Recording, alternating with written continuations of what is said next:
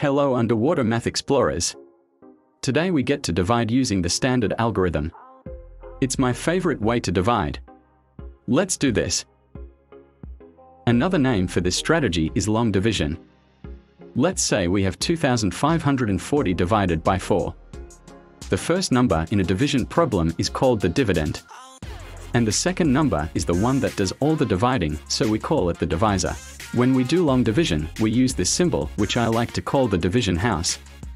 The dividend gets to go inside the house and the divisor stays outside to do all the dividing. Let's get to the best part. Divide. First, we check to see if 4 will fit into the first digit of the dividend. 4 does not fit into 2. So we add on the hundreds digit. Now, how many times does 4 fit into 25 without going over?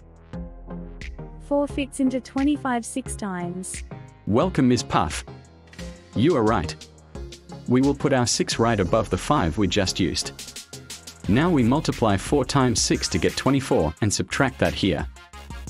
We have 1 left over. And we look at our divisor again.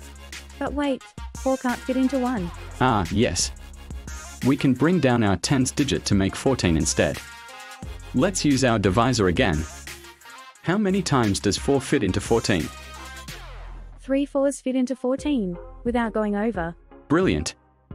We put our 3 above the 4 that we brought down. Then we multiply.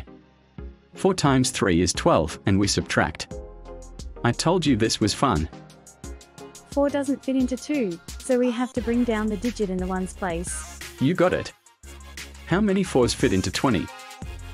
5 fit in exactly, well, look at that. Place that 5 here and multiply to make 20.